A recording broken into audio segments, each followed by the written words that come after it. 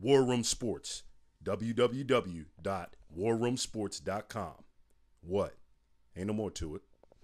War Room on War Room Sports TV. I'm Devin McMillan, and I'm here with my co-host Jimmy Williams and B. Austin, and we're here today to talk about some sad news in the uh, world of NFL football. Um, in particular, the Kansas City Chiefs. It was it has been reported that Chiefs linebacker Jovan Belcher uh, murdered his girlfriend uh, in a Kansas City neighborhood in front of his mother, no doubt, and then went to the Chiefs facilities at Arrowhead Stadium and killed himself in the parking lot. Um, supposedly there were two witnesses, and we're getting reports that the witnesses might have been Chiefs head coach and general manager. Uh, we have no idea what this situation is about, you know, what it stemmed from, but it's a horrid situation indeed. B. Austin, I'm gonna come to you first to see uh, what you think about this whole thing. You know, first of all, we have to speculate if we're going to try to figure out what actually happened. So keep that in mind, audience. But what do you think in general, Austin, with the whole murder suicide in the parking lot type thing? I don't know what happened.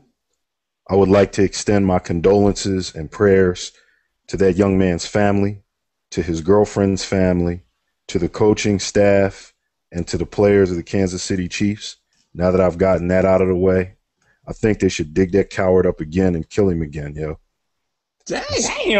Yo, I, I don't I don't agree with suicide under any circumstances. Yo, we all live through trying and tough times. We all go through things. I don't know what that young man was going through, but it's the ultimate in selfish act.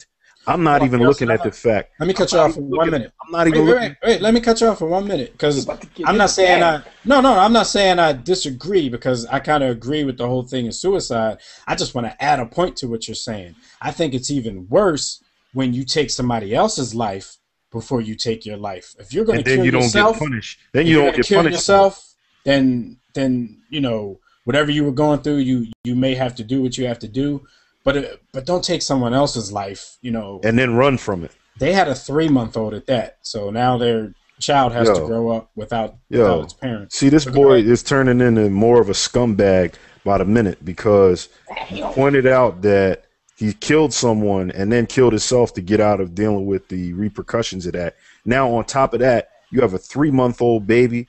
Listen, ladies and gentlemen, listeners, audience, when you guys comment on this video, which I know that you will, at War Room Sports, go ahead and get on your warroomsportstv.com. Check us out.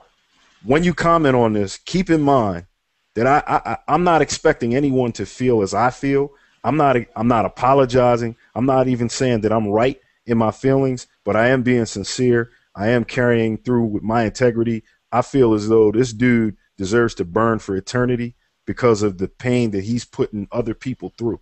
And that's my thoughts. I don't care about nothing else, man.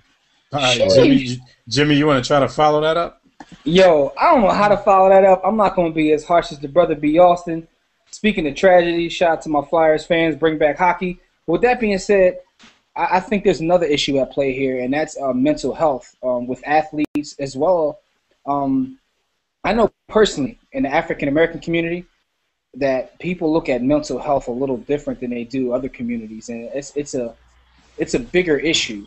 I don't know what he was going through, you know, so I can't pretend to know what he was going through, but I totally agree in the sense that why would you, you know, kill the mother of your child? Um, And leave your child and leave your three month old. I mean, pretty much alone. Yeah, you're right in that. I, but at the end of the day, like, it's just a sad situation.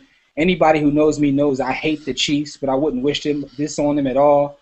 Um, I'm not into suicide. I mean, unless you got you still walking around with a palm phone and you can jump off your roof. But other than that, you know, suicide is um, it's, it's just a sad situation, man. I, I don't know whether they're going. Are they going to play the game still tomorrow? I mean, what are they going to do in terms of that? Well, the NFL has sent uh, the Carolina Panthers a memo saying to travel as planned.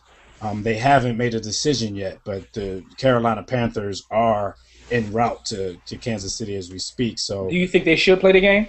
um, I don't know. That parking lot is uh, It's a crime it's, scene at it's this a point. crime scene. It's a it's a horrific scene.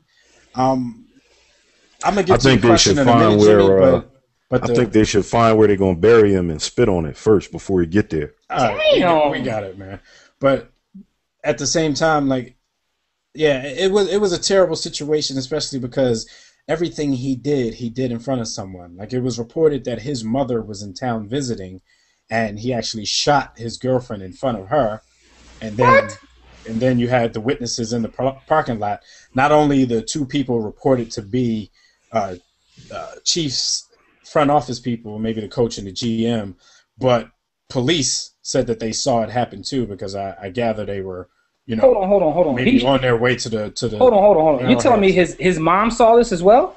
Uh, the reports that I heard says that his mother was visiting and he shot his girlfriend in front of his mom, and then went to the parking lot at Arrowhead Stadium and was supposedly talking to two Chiefs, uh, you know, staff members, and the police actually said that they witnessed it also. So maybe they were on their way to go make the arrest.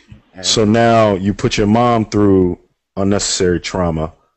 You put your your coach, who you claim to be everybody's thankful. everybody's gonna be through going through unnecessary trauma. We don't even have to go down the list, man. Yeah, it's man, a terrible pretty much. situation. I, I mean, is- with, with that being said, man, like I said, I got so many jokes I can make now, but it's not a laughing matter.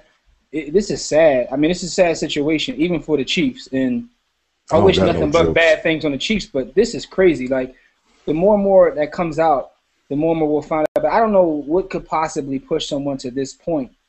To My, you know, my thought is, I, I, I pretty much think that they may go ahead and play the game, but even if they don't, here's what I'm asking you guys.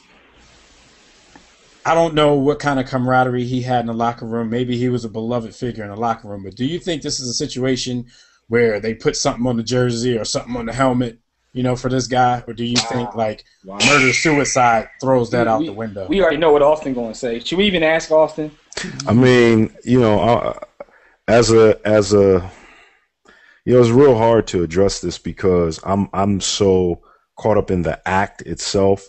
You know, you brought up camaraderie in the locker room. You brought up, you know, was he friends with folks on the team? Some of those guys may want to celebrate his his his memory, but do you risk celebrating or taking or making light of the fact that he participated in and was the aggressor in a murder suicide? I, I don't know.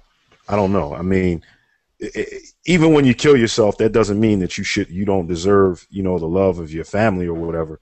I, I and and I friends. mean, I, I, and, don't know. and man. I, I can, can't I can even actually speak that. on this. I, I say no, man, because outside of the fact that you committed suicide, yo, you murdered someone. You're no different than Rae Carruth. You know what I mean? Other than the fact that he had to be punished for his crimes, but you're no different than Good him. That's like the Panthers putting Rae Carruth's number on the back of their helmet, like you know, and he didn't die, but he got roofed. The judge roofed him for a minute. So, mm-hmm. He, I- he gets out in 2014. Yo, not 2014. I thought it was like 28. That's regard. That's, that's irrelevant. I thought it was like 2018. He gets out though. soon. No, But regardless of that, regardless of that, the point is this guy murdered somebody outside That's of killing fault. himself. He murdered somebody first, so you can't honor this dude like that. Okay. Well, like we started off saying, you know, our condolences here at War Room Sports go out to uh, that man's family, his girlfriend's family, the the Kansas City Chiefs, the NFL in general. Um, it's it's a crazy situation, and by the time you guys see this video, I guess we would have our answer as to whether they played the game or not. But uh, make sure you check out our videos here on War Room Sports TV. Make sure you comment because we will get back to you. This is a community here, and we like to engage with our neighbors. So uh, we're going to sign off, and as usual, don't accept mediocrity and be steadfast in the war against ignorance. We out. It's the war room. With five nights at the round table, five Philly guys diversified and educated.